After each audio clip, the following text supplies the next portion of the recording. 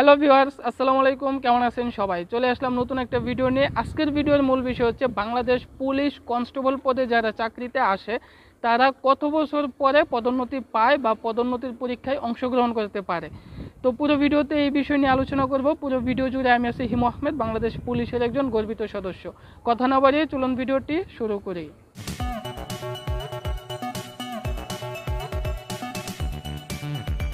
অনেকেই জানতে চায় যে বাংলাদেশ পুলিশে যে আমি কনস্টেবল পদে যাব, সেখানে যাওয়ার পরে আমার প্রমোশনটা কীভাবে হবে বা কত বছর পরে হবে?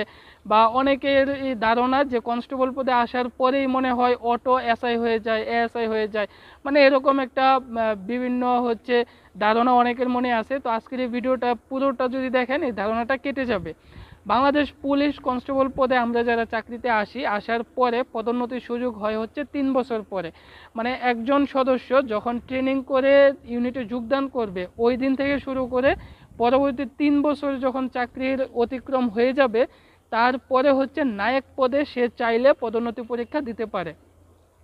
কনস্টেবল থেকে পদোন্নতি পাওয়ার উপায় অনেকভাবে আছে, অনেকগুলো আছে তিনভাবে আছে। যেমন হচ্ছে কনস্টেবল থেকে তিন বছর পরে যদি তিন বছর হয়, কেউ যদি চায় যে সে নায়ক পদে যাবে, সে নায়ক পদে পদোন্নতি পরীক্ষা দিতে পারবে। আবার কেউ যদি চায় যে, না, আমি নায়ক হব না, আমি এএসআই নিরস্ত্র হব, অর্থাৎ থানায় এএসআই হিসেবে কাজ করব। সেক্ষেত্রে হচ্ছে চাকরির যখন ছয় বছর হবে, তখন হচ্ছে সে পদোন্নতি পরীক্ষায় অংশগ্রহণ করবে এএসআই নিরস্ত্র হিসেবে। তারপরে কেউ যদি চায় যে, না, আমি নায়কও হব না, তারপরে হচ্ছে এএসআই নিরস্ত্র হব না, অর্থাৎ থানার এএসআইও হব না। আমি হচ্ছে ট্রাফিকে কাজ করব, ওই যে রাস্তাঘাটে যেরকম দেখেন যে এএসআই একটা, এখানে হচ্ছে ফুল থাকে।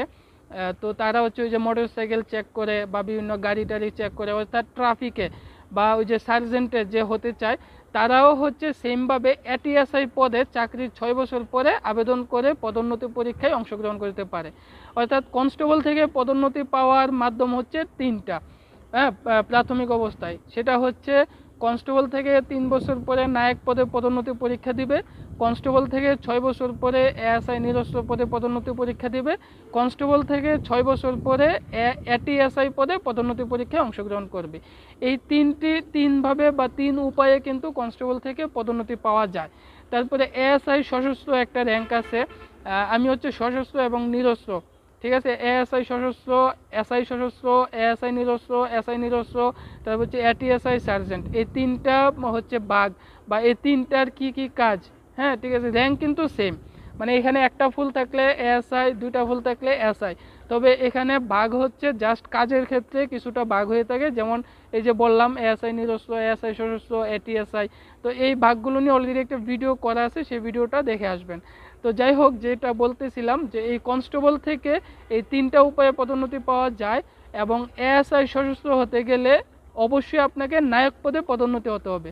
মানে যারা চায় যে আমি এটিএসআই হব না, অর্থাৎ সার্জেন্ট হব না, আমি এএসআই হয়ে থানায় কাজ করব না আমি হচ্ছে এএসআই হয়ে বিভিন্ন ইউনিটের যে লাইন থাকে সেই লাইনে কাজ করব বা ট্রেনিং সেন্টারে কাজ করব, তারা, তাদেরকে হচ্ছে এএসআই সশস্ত্র পদে পদোন্নতি পেতে হবে।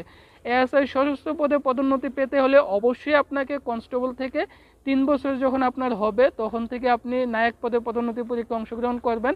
তখন নায়ক হওয়ার পরে আপনি যেদিন নায়ক হবেন, আপনার হচ্ছে অফিস আদেশ আসবে যে আপনি আজ থেকে নায়ক।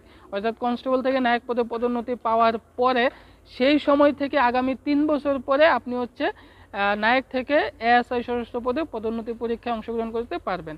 তো আশা করি এই পদোন্নতির বিষয়টা মানে কনস্টেবল থেকে কীভাবে পদোন্নতি পেতে হয় সেই বিষয়টা আপনারা ভালোভাবে বুঝে গেছেন। ভিডিওটা ভালো লাগলে অবশ্যই একটা লাইক করবেন চ্যানেলে নতুন হয়ে থাকলে সাবস্ক্রাইব করে রাখবেন। এরকম নিত্য নতুন প্রয়োজনীয় ভিডিও পেতে। এবং বাংলাদেশ পুলিশ সম্পর্কে আমার এই চ্যানেলে অনেকগুলো ভিডিও দেওয়া আছে। বিভিন্ন অজানা তথ্যগুলো দেওয়া আছে। আপনারা আমার চ্যানেলটা ঘুরে আসবেন। সবাই ভালো থাকবেন, সুস্থ থাকবেন। আমার জন্য দোয়া করবেন। আল্লাহ হাফেজ।